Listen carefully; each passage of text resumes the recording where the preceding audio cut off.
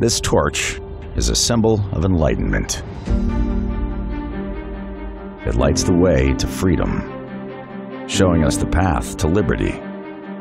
But as she stands there, watching the world, billions are struggling to make a living, suffering from the injustice of today's financial system.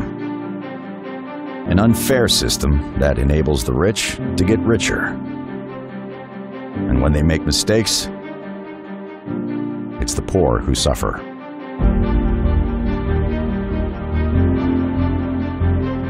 Is this true freedom?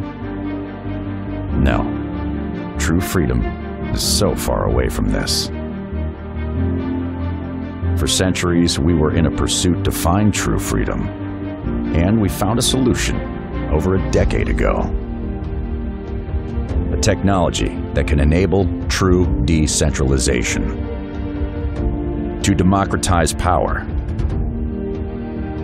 to democratize the right to liberty, and the right to freedom.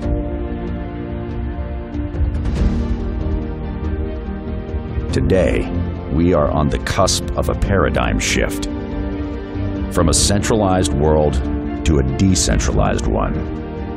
A future where humans are more liberated and not at the mercy of large organizations and their rules.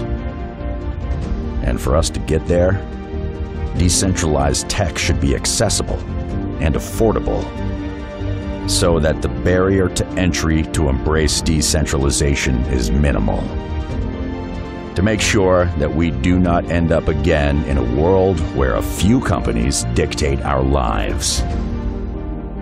And that's the world we want the one we believe in.